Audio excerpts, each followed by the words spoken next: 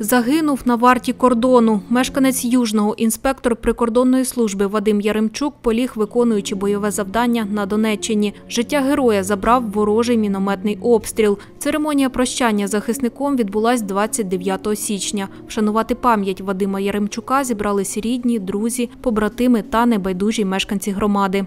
Вадим служив на відділі прикордонної служби Південний.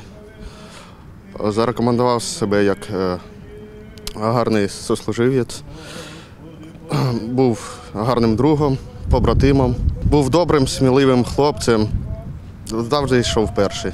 Як в службі, так і в позаслужбовий час е, не боявся В обличчі воїна Вадима Яремчука громада втратила людину дисципліни та спорту. Вихованець секції кікбоксингу Вадим завжди був поряд з рідним клубом Кемпо, згадує тренер Олег Барков.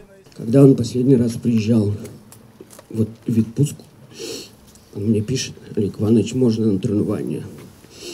Розклад тренувань той же чини, ну, в зв'язку з війною.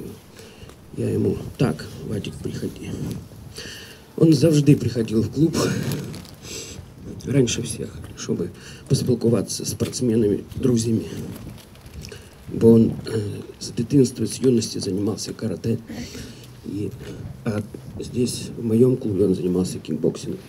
Вадим Яремчук вісім років стояв на захисті батьківщини. З 2016 року учасник антитерористичної операції, відзначений президентом України за внесок у захист нашої держави. У героя залишилась родина, батьки. Я знаю його маму, вона з нами працює. Вона в бухгалтерії працює, а ми такі рядові робітники. Ну, того. ну і так добре його знали. Він раніше трошки працював у ОТБ.